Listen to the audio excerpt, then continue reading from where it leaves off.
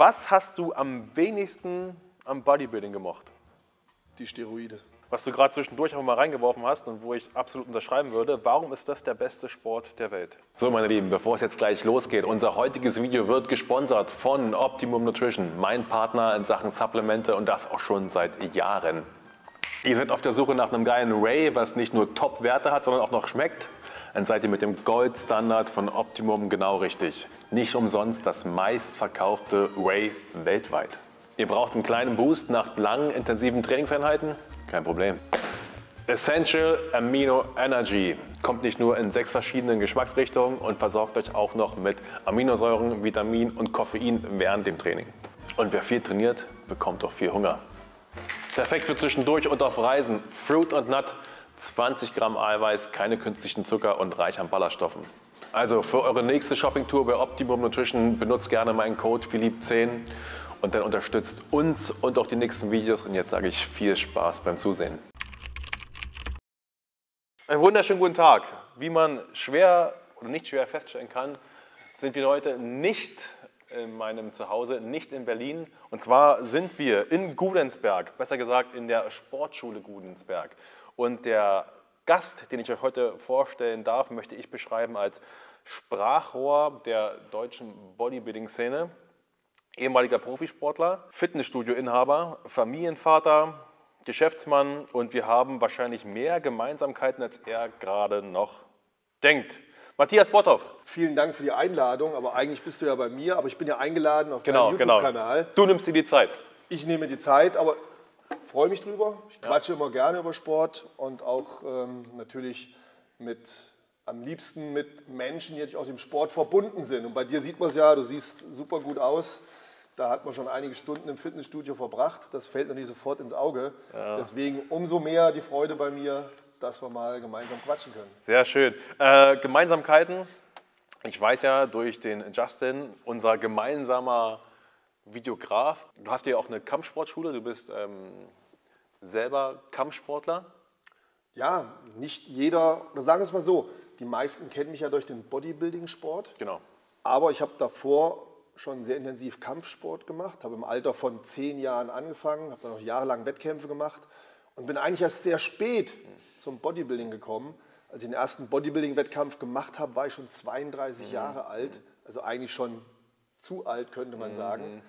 Aber dadurch, dass ich natürlich auch in der Kampfsportzeit schon Fitnesstraining gemacht habe, Gewichte gehoben habe, war halt die Grundvoraussetzung schon irgendwo vorhanden. Ganz kurz, Karate, oder? War deine Grundlage? Karate, Taekwondo, Kickboxen, alles, wo man tritt und schlägt. Ja. Genau. Ähm, dazu auch unser, unsere Gemeinsamkeiten. Ich habe auch mit sechs Jahren damals angefangen, Karate Jünger als ich. äh, zu machen. Hat mir auch sehr viel Spaß gemacht, aber ich bin auch geschuldet der 80er Jahre Vorbilder, war halt so John-Claude Van Damme und die üblichen Verdächtigen. Und da macht man halt entweder, ist man wahrscheinlich Bodybuilder geworden wegen Arnold oder man hat halt einen Kampfsport gemacht. Karate-Tiger. Da bin ich aber ganz ehrlich zu dir, das war natürlich auch meine Inspiration. Ja, ja. Natürlich habe ich diese Filme geschont, äh, gesehen und war dann schon angefixt durch Arnold Schwarzenegger, Ja. Sylvester Stallone, Jean-Claude Van Damme. Das war natürlich auch meine Zeit, wobei ich jetzt ehrlich gesagt, du bist nur ein Tick jünger als ich, würde ich sagen. 86er Baujahr. Ach, das ist ja so grün Ein, Küken, Ohren. ein Küken könnte So man quasi ungefähr. noch sagen. Ich bin 72 geboren, also mittlerweile über 50. Das war halt die Zeit. Ne? Ja. Die, die Heroes, man muss auch dazu sagen, es gab noch keine sozialen Medien, also sowas Ja. wie YouTube. Das Ja. In ich mir da gar nicht vorstellen Das gab es nur in Demolition Man. absolut. Das genau, ist ja. da interessant. Ne? Die ganzen Filme von damals, die haben uns quasi gezeigt, was wir jetzt eigentlich so haben. So Videotelefonie und den ganzen Ja, Spaß. in Star Trek schon hier die Club-Handys. Ja. Ne?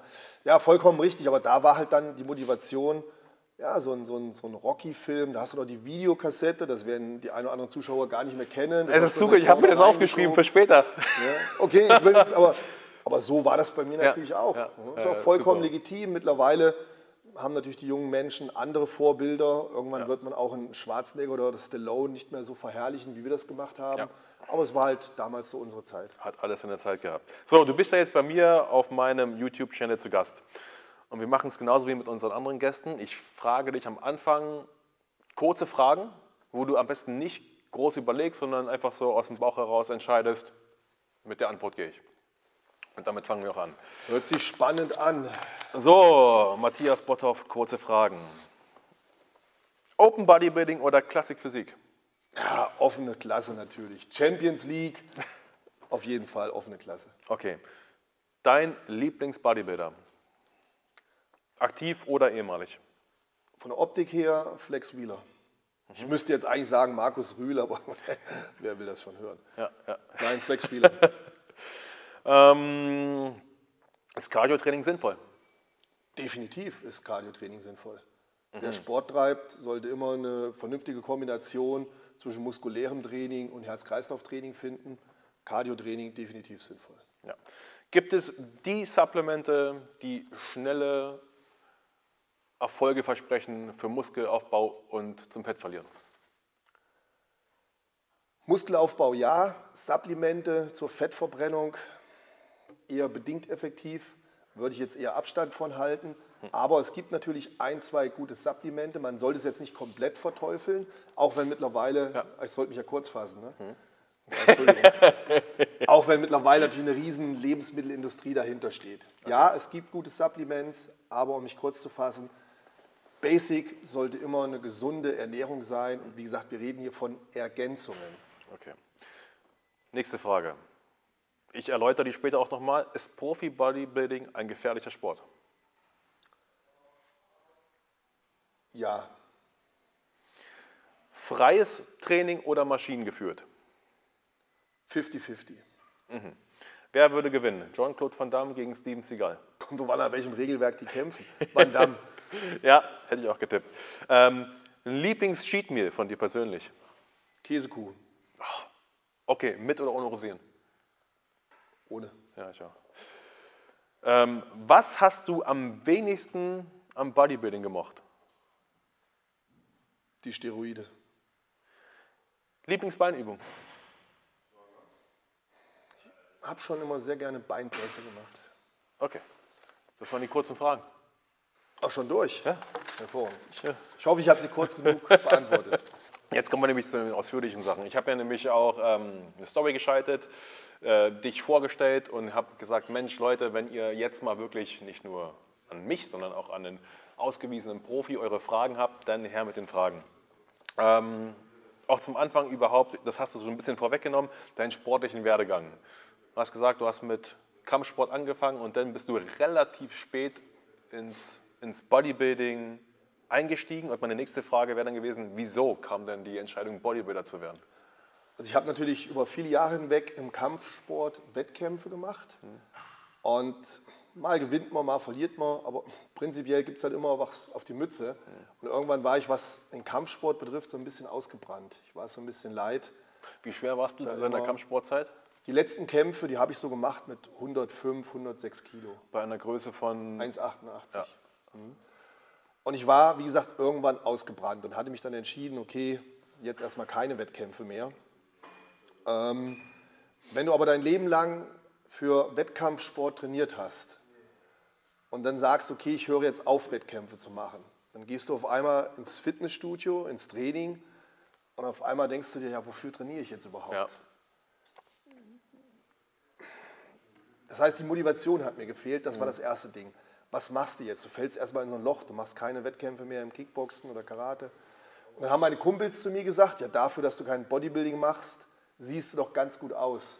Mach doch mal so einen Ich Bodybuilding-Wettkampf. wollte gerade sagen, 105 Kilo bei 1,88, wahrscheinlich auch in einer sehr guten Form eigentlich. Das ist schon Die mehr als Form war in stabil. Ordnung. Ähm, und dann habe ich ja gesagt, okay, klar, warum nicht? Ich habe ein Fitnessstudio, das hatte ich zu dem Zeitpunkt schon, circa vier Jahre. Das hier? Ja, Okay. Und dann kam die Entscheidung, ich mache halt mal so einen Bodybuilding-Wettkampf mit. Was ich dann nicht ahnen konnte, ich war halt von Anfang an erfolgreich. Ja. Und bei meinem ersten Wettkampf in der ersten Reihe, das war halt damals noch ein klein bisschen anders. Es gab halt, wie gesagt, Instagram, YouTube Ja, und sowas noch ja. nicht. Oder jedenfalls, ich kannte es nicht. In der ersten Reihe saß von einer großen Supplement-Firma der Chef. Und der hat diesen Wettkampf gesehen.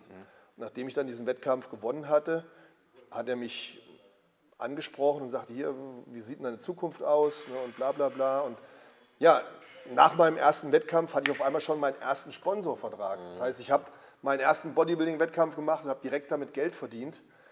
Ja, und dann war ich in dieser Bodybuilding-Schiene so drin.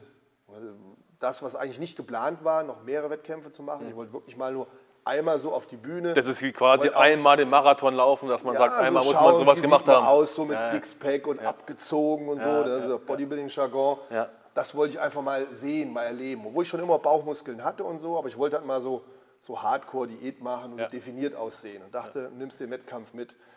Ja, und dann, wie gesagt, bedingt durch den Sponsor und dass ich dann von Anfang an Geld verdient habe, bin ich so in dieses Bodybuilding reingerutscht. Mehr oder weniger nicht gezielt von Anfang an.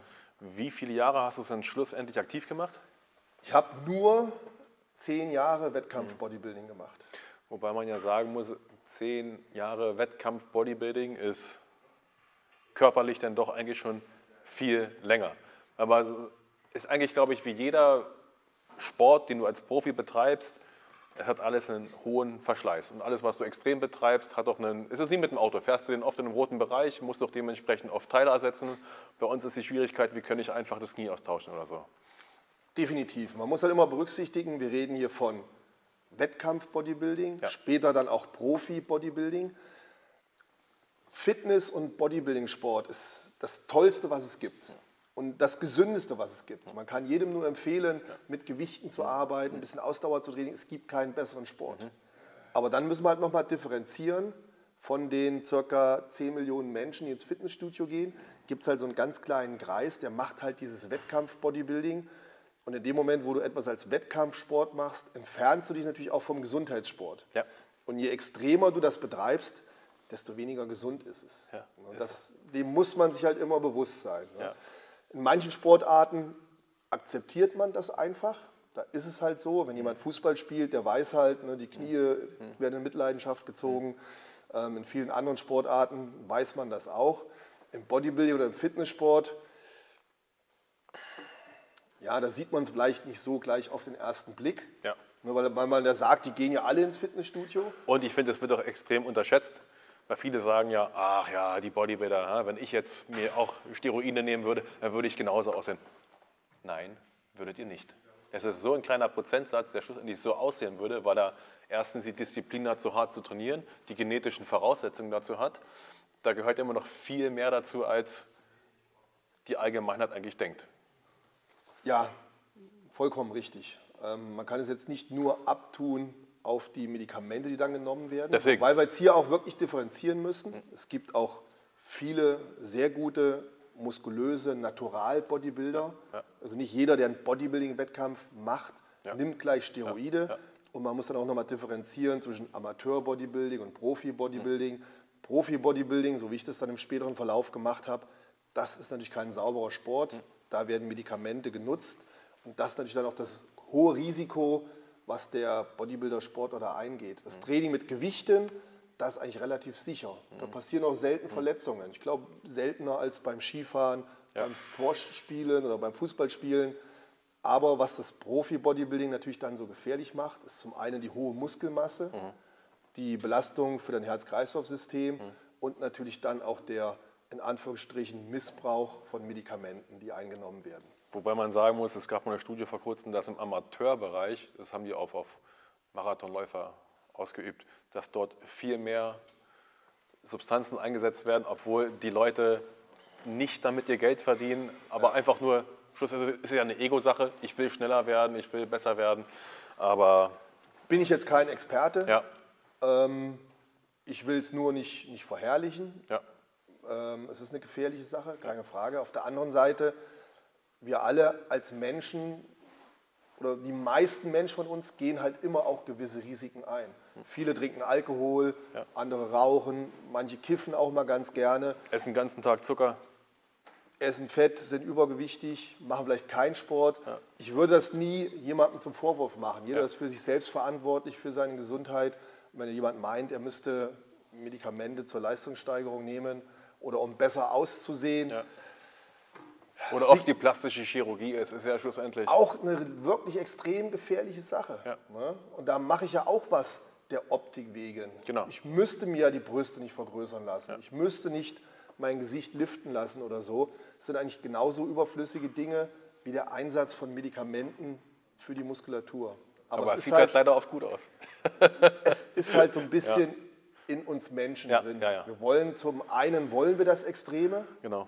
auf der anderen Seite verteufeln wir das dann auch wieder ein bisschen. Ich glaube, wir sind in vielen Dingen in unserem Leben so ein bisschen im Zwiespalt.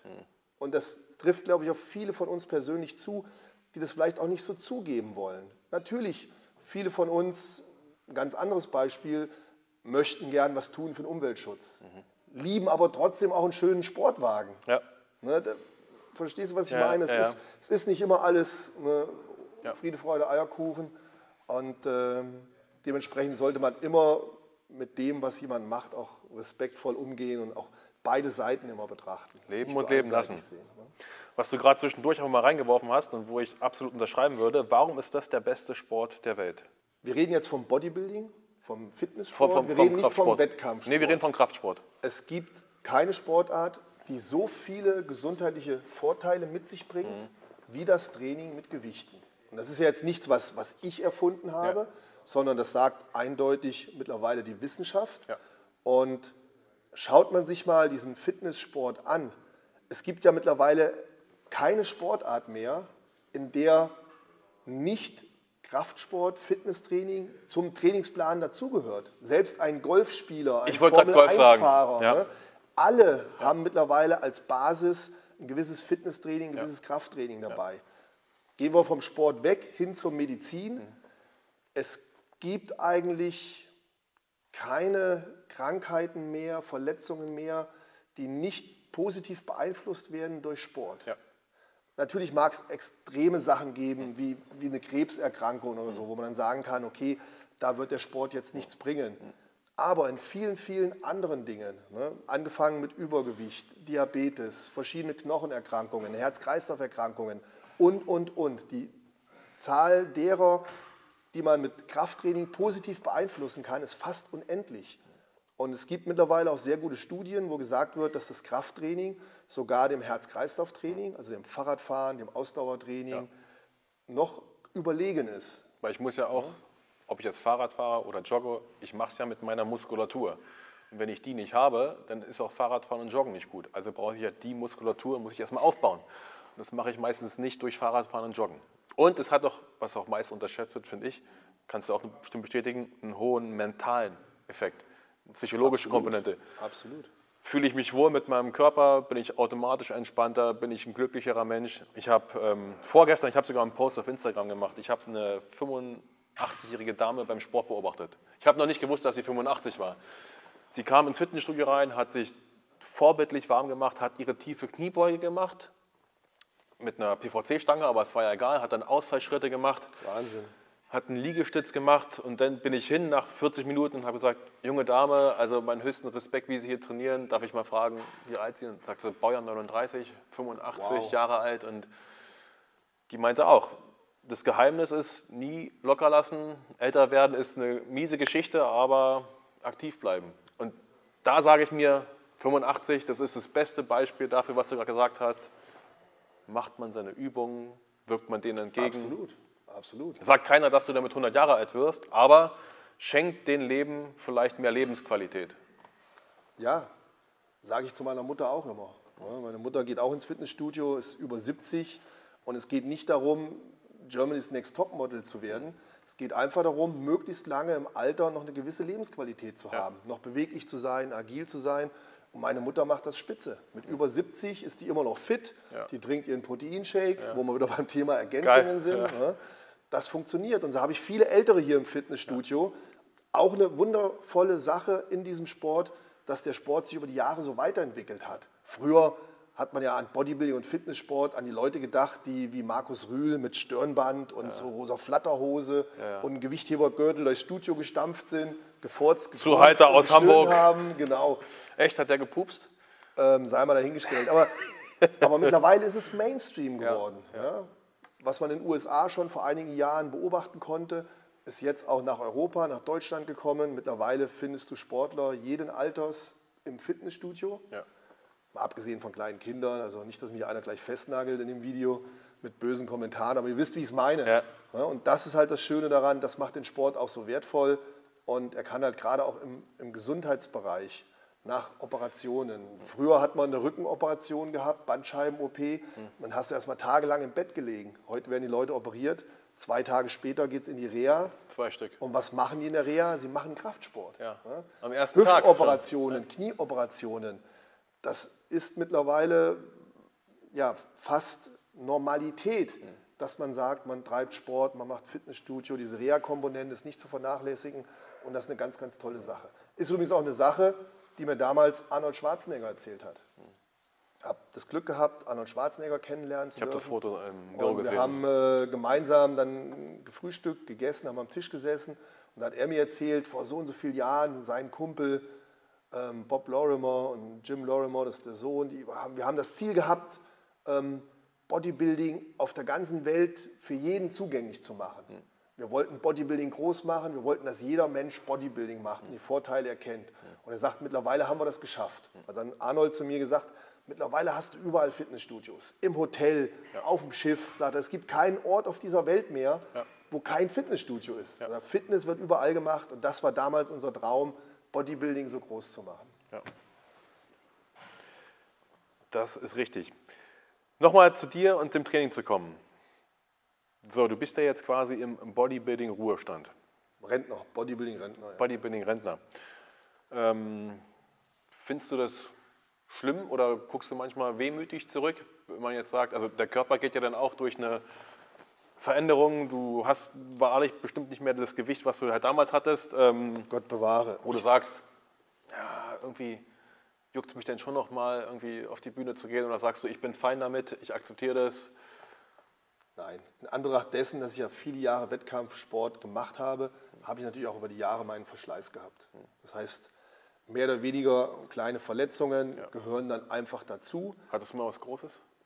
Also so, richtig, so? so richtig groß eigentlich nicht. Ja, Schon verschiedene Sachen mal abgerissen, dann ist es mal der Bizeps, dann ist es die Brust, wie jetzt das Problem ist.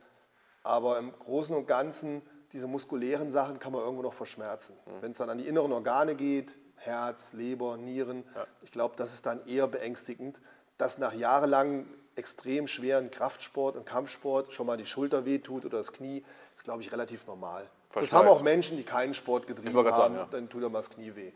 Ähm, aber was, was viel einschneidender ist oder was einen natürlich viel mehr beschäftigt, ist natürlich das Kopfproblem, was Mhm. du hast. Weil ich war ja wirklich in diesem Perfect Body Tunnel war ich ja drin. Das meinte ich jetzt Du auch, ja. strebst nach mehr Muskelmasse, nach diesem extrem in Anführungsstrichen schönen Körper, Mhm. der natürlich nicht schön ist, sondern nur in deiner Illusion, in deiner eigenen Vorstellung Mhm. empfindest du das noch als schön. Du denkst jedes Mal, wenn du morgens aufstehst und schaust in den Spiegel, mein Gott, bin ich dünn, wiegst aber 140 Kilo Mhm. Ja. und hast noch Bauchmuskeln. Das heißt, dein, deine Eigenwahrnehmung ist komplett gestört. Und das kommt natürlich dann später irgendwann wie ein Bumerang zurück. Das heißt, ich hatte dann extreme Probleme, damit klarzukommen, dass das jetzt alles rückläufig ist und dass ich nicht mehr so aussehe wie früher. Und du kommst da tatsächlich in eine Depression, das macht dich richtig fertig. Ich habe Probleme damit gehabt, das gebe ich zu. Ähm, was mir dann am Ende geholfen hat, war einfach neue Ziele zu finden. Dass ich halt wegkomme von diesem nur auf diesen Körper fixiert, andere Sachen gefunden habe, die mich zufriedenstellen, die mich befriedigen, die mir Freude bringen. Auch herausfordernd wahrscheinlich. Absolut. Das war zum einen der, der ganz größte äh, Einfluss, war da das Gründen dann von einer Familie, zu sagen, ich möchte gerne ein Kind haben. In dem Moment, wo dann meine Tochter da war, waren alle Depressionen weg, weil du hast die komplett neue Zielsetzung gehabt, zu sagen, ich lebe jetzt nicht mehr für mich, sondern für meine Tochter. Und auf einmal war mir der, der Bizeps, wie dick der ist, es war mir komplett egal in dem Moment. Ja Solange er dann auch die Kleine hochheben kann. komplett, komplett was anderes. Und die zweite Komponente dann irgendwann zu sagen, okay, du hast jetzt über die Jahre so viel Wissen dir angeeignet mit dem Sport, ähm, gib das an andere weiter.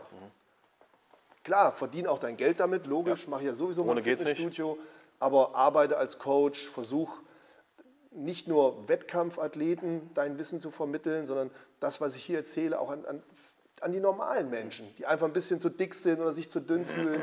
Versuch denen zu helfen, versuch mehr als Trainer zu arbeiten und jetzt hole ich mir halt praktisch die Erfolge, die ich selber nicht mehr habe, über meine Klienten, mit denen Ja. ich arbeite. Und wenn ich dann jemandem helfen kann, 20 Kilo abzunehmen, ja, bin ich happy, das befriedigt mich dann, das sind dann meine persönlichen Erfolge. Trainierst du aber selber noch regelmäßig? Ich trainiere noch regelmäßig. Ich ähm, mache noch viermal die Woche Krafttraining, mache zweimal die Woche mein Kampfsporttraining, ja. Mache fünfmal die Woche mein Cardio-Training. Also ich versuche schon natürlich sportlich aktiv zu sein, aber lange nicht mehr mit der Intensität, wie ich das früher gemacht habe als Wettkampfsportler. Jetzt geht es wirklich um die Gesunderhaltung und einfach um den Spaß. Es ja. macht mir einfach Spaß, mich zu bewegen. Ernährung ist wahrscheinlich ähnlich. Also Bodybuilding ist natürlich auch eine sehr eingeschränkte Sache, was die Ernährung angeht, weil du isst nicht alles, du musst extreme Mengen essen an bestimmten Mikro- und Makronährstoffen. Jetzt ist auch bei dir wahrscheinlich gesund. Ja, also in den zehn Jahren, wo ich Wettkampf-Bodybuilding gemacht habe, habe ich zehn Jahre lang nichts gegessen, was ich vorher abgewogen habe. Also ich habe zehn Jahre lang nur nach Man Plan kann sich gegessen. Essen abwiegen. In zehn Jahren habe ich zweimal eine Pizza gegessen Ja. und ich weiß jetzt noch, wo das war und wann das war. Ja. Die Zeiten sind natürlich jetzt durch. Ich ernähre mich immer noch sehr gesund, sehr bewusst, weil mir das halt einfach schmeckt. Ja. Ich mag mein Hühnchen, meinen Salat. Man kann es auch jeden Tag bei mir auf Instagram sehen. Ähm, meine Frau ist eine begnadete Köchin, die es mit sehr viel Liebe macht. Und das schmeckt mir einfach. Also ich würde dieses Hähnchen mit Reis und ein bisschen Salat, würde ich immer den Pommes rot-weiß vorziehen. Ja. Ne, das- Das schmeckt mir halt einfach. Nichtsdestotrotz, wenn ich jetzt mal Appetit auf ein Stück Kuchen habe, mache ich das. Und heute Abend wird es auch eine Pizza bei uns geben. Ja. Samstags gibt es dann mit den Kindern, mit der Familie einen Pizzaabend. Die gönne ich mir dann halt auch. Also es ist nicht mehr so fixiert und engstirnig, wie das früher mal war. Aber ansonsten ist gesunde Ernährung nach wie vor mein Alltag. Und das gebe ich natürlich auch an meine Ja. Klienten weiter, keine Frage. Ich habe seit, glaube ich, 18 Jahren das gleiche Frühstück. 18 Jahre? Da müssen wir mal Das nachdenken. ist es. Immer das gleiche Frühstück, Rührei. Dann, Vollei oder Eiklar? Ähm, bisschen mehr Eiklar, Ja. weil ich esse schon eine große Portion. Weil Ei, um das, Gelb hat sehr viel Fett, wahrscheinlich. Ja, ich will ja das Fett nicht so hoch Ja, haben, genau. aber ne, es ist halt ein bisschen weniger Eigelb als Eiweiß. Ja. Also es gibt da mein Rührei, dann gibt es meinen Tee dazu, es gibt eine Kohlenhydratquelle, Hm. im Normalfall Haferflocken und ein bisschen Obst. Aktuell esse ich auch mal gerne einen Toast, weil meine Tochter Ja. isst gerne Toast. Dann gibt es auch mal einen Erdbeertoast dazu. Aber diese Grundlage des Frühstücks, Ja. seit zig Jahren gibt es bei mir das Rührei. Ja, wir haben einen sehr ähnlichen Frühstücksstil. Schmeckt mir halt einfach, ne? aber es ist halt so. Oder ab und zu auch mal einen Saft dazu, einen frisch gepressten, wenn ich das Obst halt nicht so esse. Ja. Aber im Normalfall Rührei, Obst, dann Haferflocken, Toast ähm, und meinen Tee dazu. Du hast ja vorhin schon gesagt, Bodybuilding oder Kraftsport ist viel mehr sozial akzeptiert geworden. Es ist viel verbreiteter noch wie vor 10, 20, 30 Jahren. Es gibt überall die Fitnessstudios. Und was es ja auch durch die sozialen Medien, Instagram, YouTube, jetzt viel mehr greifbarer gibt, ist Bodybuilding als Wettkampfsport als solches. Wir haben ja auch glücklicherweise jetzt wieder ähm, deutsche Athleten, die international auf der höchstmöglichen Bühne da ihren Sport machen und die quasi Bodybuilding leben. Also Bodybuilding, finde ich, erfährt gerade so ein bisschen so eine, neue, so eine neue Sympathie oder so eine neue Fanwelle. Aber gerade weil wir auch sehr junge Wettkampf-Bodybuilder haben in Deutschland, war meine Frage vorhin, ob Bodybuilding auch vielleicht ein gefährliches Vorbild sein können, weil viele der jungen Leute sagen sich, oh, das ist das Maß aller Dinge. Ich muss so schon mit 22 aussehen. Ich muss den kompletten, aus Stein gemeißelten Körper haben und dann gehe ich auf die Bühne und werde Mr. Olympia. Ich finde, das äh, verschleiert immer so ein bisschen das Bild, wie das eigentlich so sein sollte. Findest du das auch, dass das vielleicht ein bisschen eine Krux sein kann? Also generell haben die sozialen Medien ja nicht nur Vorteile, Ja. sondern bringen auch viele Nachteile mit sich. Und ein Nachteil, den ich da persönlich sehe, steinigt mich nicht, ihr seht es vielleicht anders, aber ein Nachteil ist natürlich, dass wir früher uns immer verglichen haben mit Menschen in unserem näheren Umfeld. Jetzt vergleichen wir uns mit Menschen, die wir auf den sozialen Medien sehen. Ja. Und dann schauen wir uns immer die schönsten und tollsten an.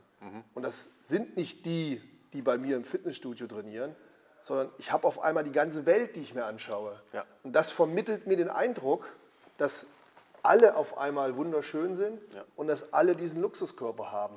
Aber das ist nicht die Norm. Wir haben nur unseren Horizont erweitert, wir haben unser Blickfeld erweitert, weil wir halt jetzt das große Ganze sehen. Und wenn wir dann einfach einmal angefangen haben, diese schönen Menschen anzuklicken, dann werden mir halt auf den sozialen Medien immer nur schöne Menschen gezeigt. Ja.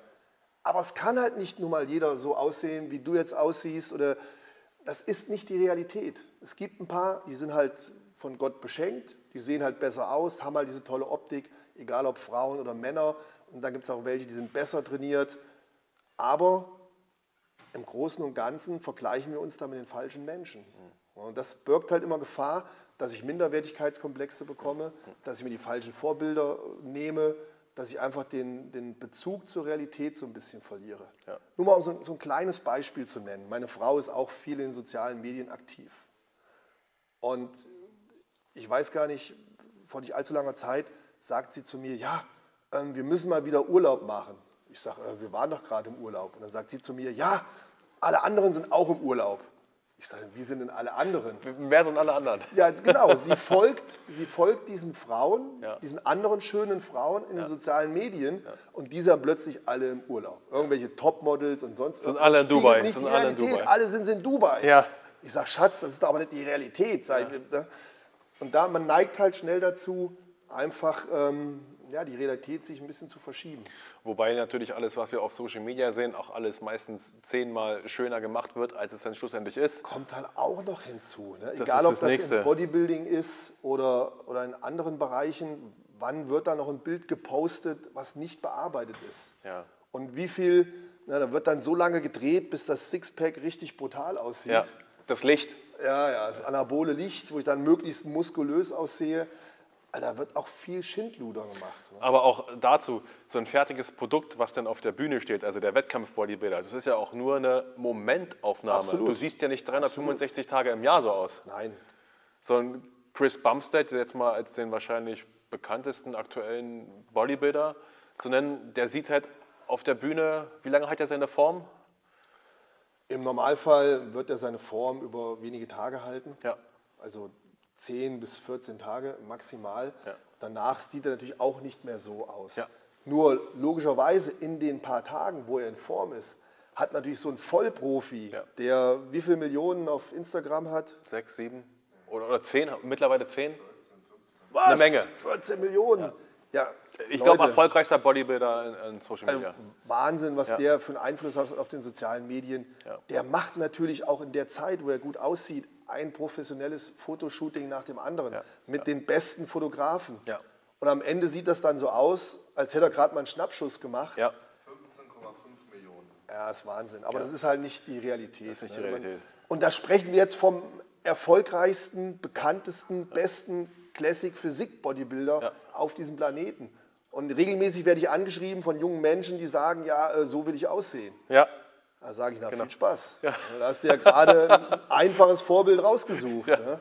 ja gut, warum nicht nach den Sternen greifen, wenn man damit Ja, anfängt? Träume, Träume sind ja in Äh, Ordnung. ja. Soll man auch haben. Und Frage. dazu muss man auch sagen, also zumindest wirkt der Chris Bumstead auch so als äh, sympathischer Mensch, so von, von außen her sehen. Von daher verdient, wenn er seinen Erfolg. Ich habe ihn schon getroffen, ich habe ihn schon kennengelernt. Ein sympathischer Typ, also ich kann nichts Schlechtes sagen, wobei Ja. ich jetzt nicht mit ihm befreundet bin. Ja. Aber wenn man sich mal gesehen hat auf den Wettkämpfen, hat ein, zwei Worte gewechselt, mal ein Ja. Hallo, kommt er sympathisch, freundlich rüber. Ja. Und wahrscheinlich hat er auch deswegen den Erfolg, ne, weil viele sich halt ähm, mit ihm identifizieren und sagen, ey, ein cooler, gut aussehender, freundlicher Typ.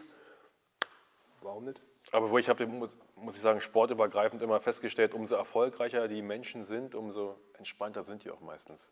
Also die, die wirklich was auf dem Kasten haben, waren meistens immer sehr entspannt, muss ich sagen. Ob es jetzt in der Leichtathletik war, im Kampfsport, im Kraftsport. Ja, ist schön, wenn es so ist. Jetzt kommen wir mal zum Fall. Du hast hier eine, eine junge Frau oder einen jungen Mann und der sagt, Matthias, Chris Bumstead oder ich möchte Profi-Bodybuilderin, ich möchte Profi-Bodybuilder werden. Jetzt ist er 18 oder sie ist 18. Ja, Was also- sagt man da? Trainier Ja. erstmal? Schön, schön, wenn das jemand möchte, aber das ist natürlich jetzt ein sehr hochgestecktes Ziel. Und meine Empfehlung wäre immer, ja, man darf diese Träume und sehr weit entfernten Ziele haben, aber um dieses Ziel zu erreichen, musst du dir vorher kleine Ziele stecken. Aber warum ist es denn weit entfernt? Für die Leute, die jetzt wirklich, viele haben wirklich überhaupt keine Relation damit, was dahinter steht. Warum ist es nicht? Wieso schaffe ich das nicht in einem Jahr? Das ist ungefähr so, als würde ich sagen, du kommst zu, ich komme zu dir und sage, ey, ich möchte gerne Fußball-Weltmeister werden. Lass uns mal anfangen. Ja. Da, äh, da, da, wird die Relation vielleicht für jeden dann, ne? und so ist es ähnlich, als würde ich sagen, ich will äh, Profi-Bodybuilder werden oder ich will zum Mr. Olympia. Ja. Das ist halt der Super Bowl, die Champions League. Da kommt nicht jeder hin. Da müssen halt viele, viele Faktoren zusammenkommen, bis ich dieses Ziel erreiche. Ein unheimlich langer Weg. Man darf diese Träume natürlich beibehalten. Jedes Kind hat vielleicht den Traum, irgendwann mal Bundesliga zu spielen oder Champions League. Das ist auch in Ordnung. Aber dann muss ich anfangen, mir realistische, kurzfristigere Ziele zu stecken. Das würde heißen, wenn du jetzt zu mir kommst und sagst, du möchtest Bodybuilding-Sport machen, du trainierst schon, siehst schon gut aus, dann musst du natürlich wie in jedem anderen Sport dich hocharbeiten. Dann wäre das erste Ziel, mal so eine Landesmeisterschaft zu gewinnen, eine ja. Berliner Meisterschaft oder eine Hessenmeisterschaft. Oder überhaupt erstmal einen Wettkampf zu machen. Genau, mal gucken, wie das ist. richtig. Und wenn ich dann sehe, ich kann in diesem Sport erfolgreich sein, dann muss ich wie in jedem anderen Sport auch diese Leiter hochklettern. Und dann setze ich mir immer wieder neue Ziele und dieses große Ziel, mal bei Mr. Olympia zu sein, Schrägstrich Bundesliga oder Champions League zu spielen, das kann natürlich irgendwo bleiben. Aber der Weg ist lang und da muss ich immer erst mal schauen, wie verläuft mein Weg. Es sind zu viele Kreuzungen, Entscheidungen, ja. die ich auf so einem langen Weg treffen muss, dass man nie zu 100 Prozent voraussagen kann, ja, das ist möglich. Die Chance ist gering, man soll seine Träume behalten, aber immer in kleinen Schritten seine Zielsetzung erreichen. Da kommen wir jetzt auch zum, zum Punkt, was ich auch immer heutzutage vielleicht schwieriger finde wie damals, wenn die Leute mit Sport anfangen wollen. Kamen auch so ein paar Fragen, wie fange ich denn am besten an? Also generell frage ich dich auch, weil du auch viel mit jungen Menschen zu tun hast. Die Generation hat sich ja verändert. Also ich kann mich da gut erinnern, ich habe mich zum Treffen mit Kumpels verabreden müssen in der Schule. Dann hat man keine WhatsApp-Gruppe gehabt, man ist da hingelaufen, man hat viel mehr draußen gemacht, man hat gespielt, man, man hat körperlich einfach sich viel mehr in der Kindheit und als Jugendlicher sich bewegt. Und ich finde, man hat doch, man sieht es an den Jugendlichen heute, man hat viel mehr mitgebracht ob es Sprinten war oder so. Die wachsen heute alle auf mit ihren Smartphones, Tablets, was auch immer. Und da ist es, glaube ich, auch schwerer, so einen Sport anzufangen. So, jetzt komme ich zu dir und ich sage, wie fange ich denn an? Jetzt gibt es hier tausend Gurus, die ich auf YouTube finde. Jeder weiß es besser. Alle wollen so Kohle vielleicht auch von mir haben. Manche machen es umsonst. Wie fange ich denn an? Also erstmal haben wir hier zwei Sachen, die man beobachten kann, die ich beobachte. Ich habe ja mittlerweile seit fast 25 Jahren mein Fitnessstudio. Es gibt zwei Dinge, die ganz wesentlich ins Auge fallen. Zum einen, die Kinder und Jugendlichen werden immer unsportlicher, vielleicht auch bedingt durch die höheren Anforderungen in der Schule über Playstation, was hinzukommt, mehr Fernsehprogramme und, und, und. Das kannst du beobachten, immer mehr dicke Kinder, unsportliche Kinder. Auf der anderen Seite kann ich aber auch beobachten, dass die Jugendlichen, jungen Menschen, die zu mir ins Studio kommen, teilweise mit 14, 15 Jahren, dass die schon wesentlich mehr Ahnung haben als ich damals mit 14, 15 Jahren. Mhm. Die gucken halt auf, und jetzt haben wir wieder diesen positiven Aspekt ja. der sozialen Medien, die kennen schon Übungen, die haben schon ihre Vorbilder, die kommen hier ins Studio und dann frage ich die, brauchst du einen Trainingsplan? Nö, hab hier YouTube das geguckt, dies geguckt und dann gehen die an die Geräte und die machen das teilweise, die meisten von denen wirklich gut. Wir schimpfen immer auf die jungen Leute, ah, die trainieren nicht mehr richtig hin und her. Aber ich habe bei mir wirklich ein paar im Studio und auch bei mir im Coaching ähm, Respekt, die machen das ordentlich und die haben auch schon ein relativ weites Wissen. Auch von meinem Bruder, die Tochter, äh, die ist noch keine 16, aber die kennt sich mit Ernährung aus, die weiß Protein und hier, und das habe ich doch damals nicht gewusst. Und ich habe mir dann noch meine rohen Eier getrunken, weil es der Rocky gemacht hat. Also da muss man schon beobachten, auf der einen Seite Probleme, auf der anderen Seite aber auch viele junge Menschen, die schon einen sehr hohen Bildungsstand haben, ja. die es schon super auskennen, die sich schlau machen. Also Respekt da an euch. Super Sache, was da viele schaffen. Ja, wie gehe ich das Ganze an? Der, der einfachste, und das hört sich jetzt dumm an, der einfachste Weg ist der, wie man das früher vom Prinzip her auch gemacht hat. Mein Kumpel trainiert schon. Ich hänge mich mal dran. Ich hänge mich mal dran. Ja. Hört sich jetzt doof an, aber das funktioniert. Einfach mal machen. Ja, einfach, einfach mal, mal machen, machen, dann mit dem Kumpel mitgehen, der sich vielleicht schon auskennt. Das heißt, wir haben hier so das Prinzip, einer trägt es weiter vom nächsten zum anderen, der Meister zum Schüler, wie im Kampfsport auch. Ja. Das ist ein Weg, den halte ich für vernünftig, den halte ich für gut, den kann ich auch hier im Alltag immer wieder beobachten. Ja, ich gehe mit meinem Kumpel, der kennt sich schon aus. Ja, super. Gebt es doch weiter, das Wissen, was ihr habt. Zweite Möglichkeit, ich gehe in ein Fitnessstudio, wo ich halt eine Einweisung bekomme, wo mir dann von einem Trainer gezeigt wird, die Basics, wie funktioniert das. Und dann muss ich mich halt mal einlesen, mal ein Buch kaufen über Fitnesssport, über Kraftsport, vielleicht auch mal irgendeinen YouTube-Kanal abonnieren und mir das Ganze anschauen. Da gibt es ja nicht nur schlechte. Ja. Es ist natürlich schwierig zu selektieren, was ist gut, was ist schlecht, aber mit der Zeit wird man das vielleicht raussuchen können Eigene Erfahrungswerte, Ähm, die man dann halt macht. Ne? eigene Erfahrungswerte. Und natürlich macht man am Anfang Fehler. Das gehört aber dazu, hat auch jeder von uns gemacht. Aber im Großen und Ganzen ist das ein einfacher Weg zu sagen, Fitnessstudio, da gucke ich, bekomme ich einen Trainingsplan, habe ich da einen Trainer. Und dritte Möglichkeit, wenn ich den finanziellen Background habe, sucht euch halt einen, der euch coachen kann.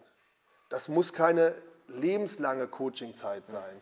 Nehmt euch für drei bis sechs Monate einen Trainer, dass ihr die Basics kennenlernt, dass ihr Trainingspläne bekommt, dass ihr euch mit jemandem austauschen könnt, weil wir haben aktuell natürlich viele, viele Fitnessketten, wo ich günstig trainieren kann, wo ich dann aber nicht mehr regelmäßig oder immer den Ansprechpartner habe, den Trainer. Das heißt, ich bin ein bisschen alleingelassen auf dieser großen Trainingsfläche und alle laufen so rum mit ihren Mickey-Mäusen. Genau, genau. Ja. Da fehlt mir vielleicht einfach mal einer, den ich fragen kann. Da macht es dann schon Sinn, sich einen Coach zu suchen, in so ein Coaching mal zu investieren, wenn ihr die finanziellen Möglichkeiten habt. Auf der anderen Seite, wenn du Sportarten hast wie Golf oder Tennis oder Surfen oder Skifahren, Bezahlst du alles. Alles. bezahle ich es natürlich auch. Ne? Warum jetzt auch nicht hier im Bodybuilding oder im Fitnesssport, wenn ich sage, ich will das von Anfang an richtig machen, warum nicht diese 500, 600 Euro investieren, Ja. um einmal einen gewissen Bildungsstand mir zu schaffen, die ersten Trainingspläne zu haben und dann, Und ganz ehrlich, ich habe schon so viel Geld in so viel schlechtere Sachen investiert. Da hätte ich lieber äh, mein Geld in andere Sachen äh, wie reingesteckt. gesagt, im Golf, im Tennis, im Reiten, Ja. im Tanzen, überall ist es normal. Beim Bodybuilding und Fitnesssport Oder fangen wir mit Go-Kart an oder irgendwas in der Richtung. da weigert man sich halt noch so ein bisschen. Ja. Und natürlich wird es immer wieder Stimmen geben, die sagen, ja, der ist, hat mir Scheiße erzählt und der hat dies. Ja, es gibt aber in jedem Beruf gute Trainer, schlechte Trainer. Gute Pizzeria, schlechte Pizzeria. Gute Schauspieler, schlechte Schauspieler. Das bringt doch jeder Beruf einfach so mit Eben. sich. Und natürlich kann es dann auch passieren, dass ich an so einen Typen komme da im Coaching, der keine Ahnung hat. Aber informiert euch doch vorher. Schaut, wer ist im Sport schon lange verbunden, wie lange macht er das schon. Und dann entscheidet euch, sucht euch einen Coach und investiert einmal das Geld.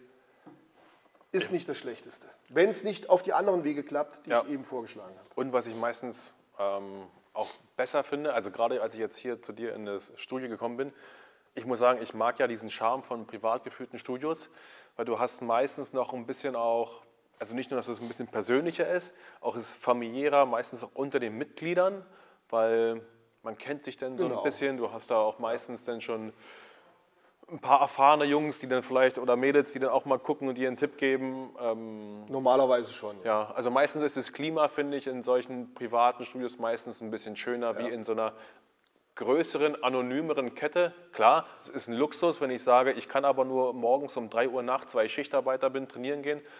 Für 20 Euro in einem McFit oder was auch immer, ja klar, dann ist sowas vielleicht die richtige Methode. Aber wenn ich gerade so Anfänger bin, finde ich, sind die Studios meistens auch wirklich die besten.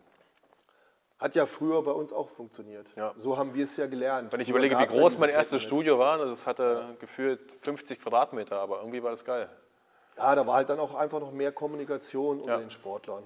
Klar, von so einer großen Kette in so einem großen Studio ist das dann wahrscheinlich nicht mehr so. Es ist halt einfach weniger persönlich, aber das ist halt dann so. Dafür kann ich für günstig Geld trainieren. Ja. So, was auch mal gefragt wird, schneller, schneller Aufbau, schneller Fettverbrennung. Ich habe das mal zusammengefasst. Alles, was schnell ist, würde ich schon mal von mir aus durchstreichen. Schnell gibt es in dem Sport nicht, weil du mit einem Körper zu tun hast. Ja, schnell ist immer relativ. Was ist schnell? Ne? Ähm, Und schnell ist meistens nicht langlebig. Es gibt, es gibt einfach gewisse physikalische Gesetze, die, die kannst du halt auch nicht außer Kraft setzen. Das heißt, die Dinge brauchen dann einfach eine feste Zeit. Und gerade was Muskelaufbau betrifft, Muskelaufbau dauert unheimlich lange. Muskelaufbau, das, das Erste, was du mitbringen musst, ist Geduld und Konstanz. Geduld, Konstanz und das über Jahre. Das ist Egal, leider was so, du machst. ne? Ansonsten würden wir alle aussehen wie ein, wie ein Chris Bumstead oder wie du, ne? wenn es so einfach ginge.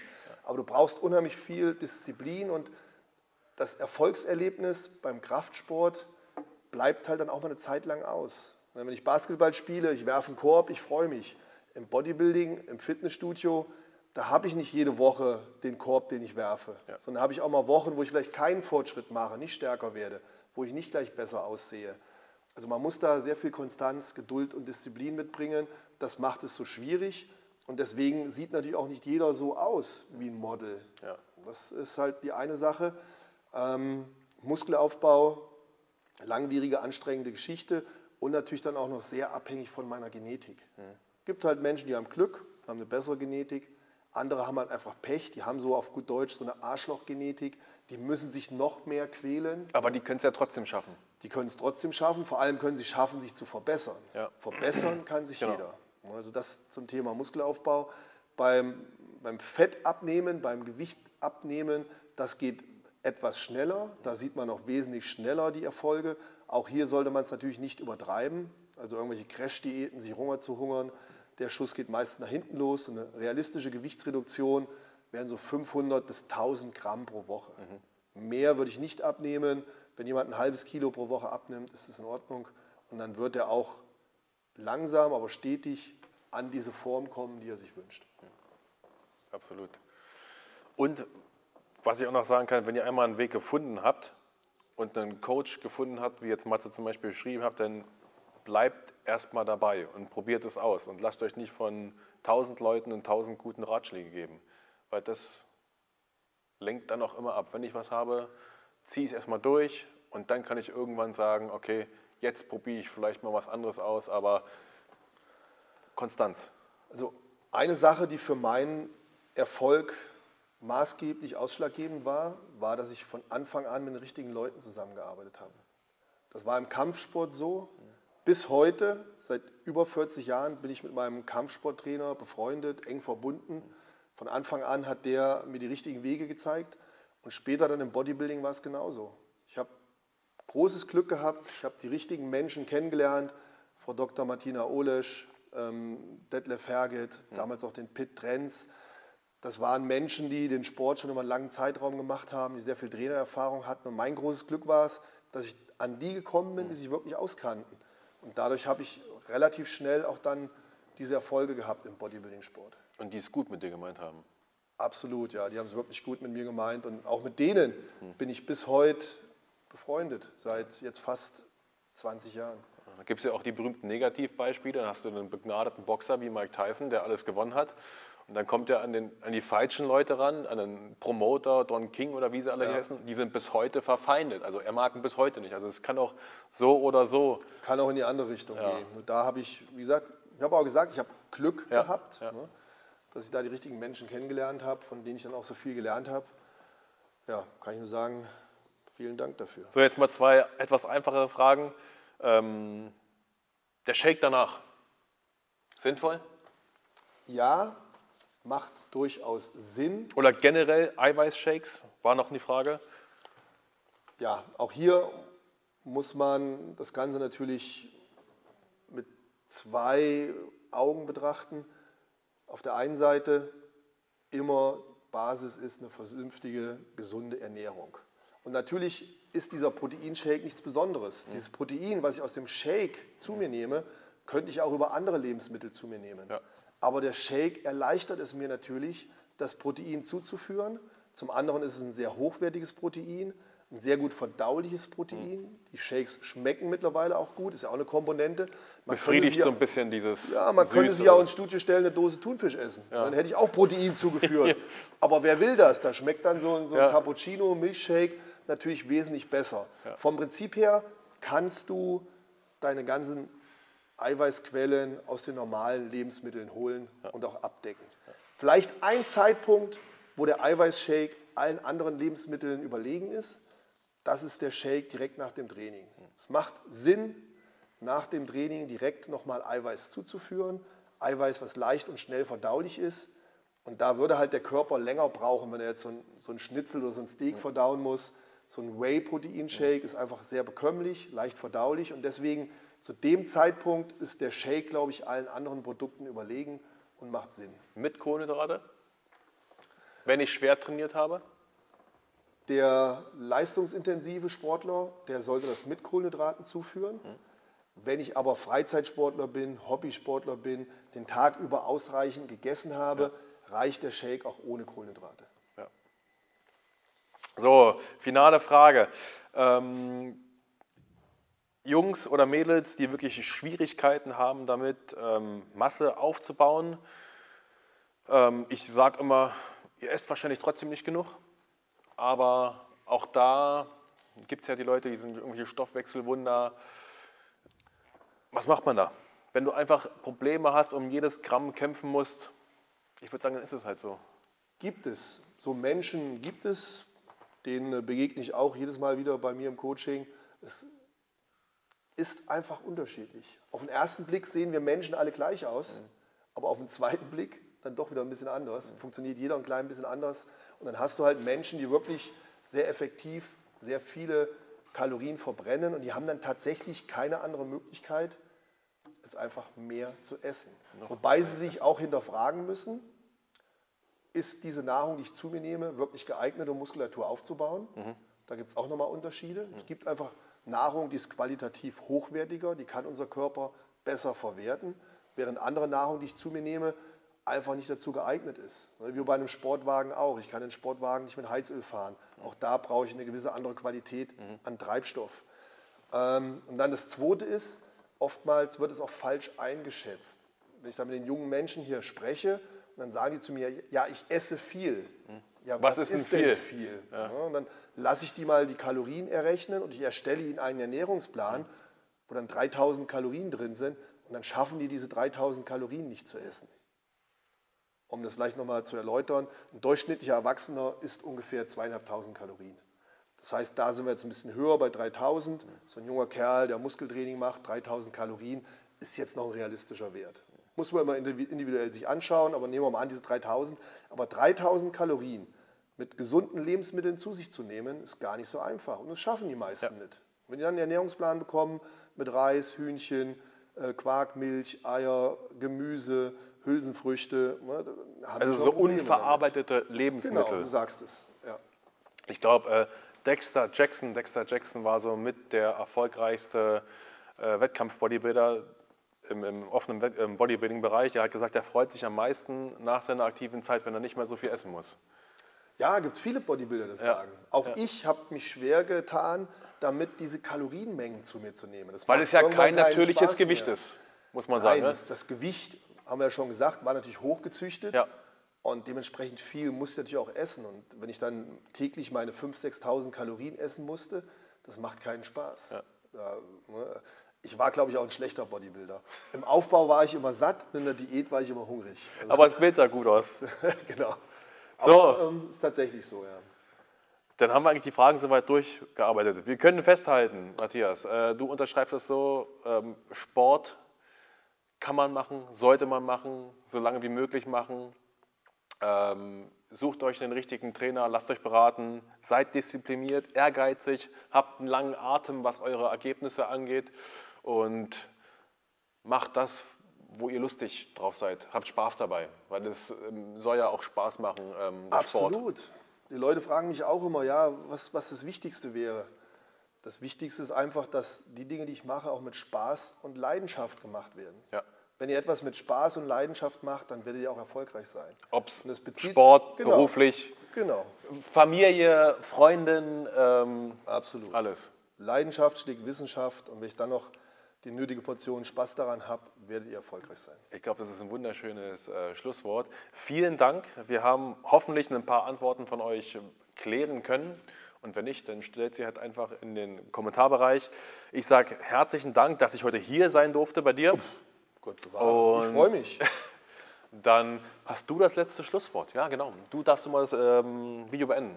Ich darf das Video beenden. Mit Erstmal, den gesagt, Worten, Du was hast du gerade schon gesagt, vielen Dank an dich, dass ich hier in deinem Video ähm, ja, auftreten durfte. Kann man das so sagen? Ja. Dein kan du hast ja auch durfte. einen eigenen Kanal, den blenden wir noch unten ein. Ach so, ja, das ist nett. Genau. Ähm, das wäre ein schönes Schlusswort. Wenn ihr mehr über Bodybuilding oder Fitnesssport hören wollt, sehen wollt, dann gerne mir auf Instagram folgen oder auch auf meinen YouTube-Kanal. Ich freue mich drüber und ähm, bleibt gesund.